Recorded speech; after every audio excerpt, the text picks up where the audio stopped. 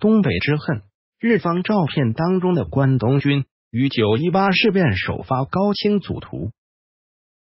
一到一千九百二十七年四月二十日，田中内阁组阁留影纪念左起望月归界，三土中造冈田启介、中桥的五郎、高桥世清、田中义一、鸠山一郎、小川平吉、山本替二郎、白川一则、铃木喜三郎、袁家道。日本近代史研究会编《近代百年史画报》第十二集，国际文化情报社。一九五三年十二月版第八百九十三届日军侵华图志，张宪文主编。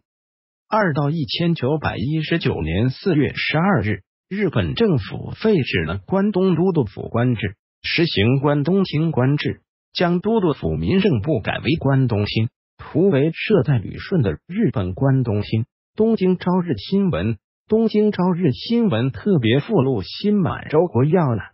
东京朝日新闻社昭和七年（一九三二）五月十五日发行，第二十五页。日军侵华图志，张宪文主编。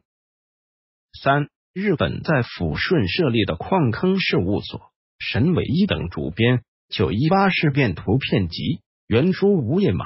日军侵华图志，张宪文主编。四、日本大力扶持张作霖为首的奉系军阀。以巩固其在东北的殖民统治。图为张作霖与日方代表。新华社解放军分社。沈阳九一八历史博物馆。香港文汇报社。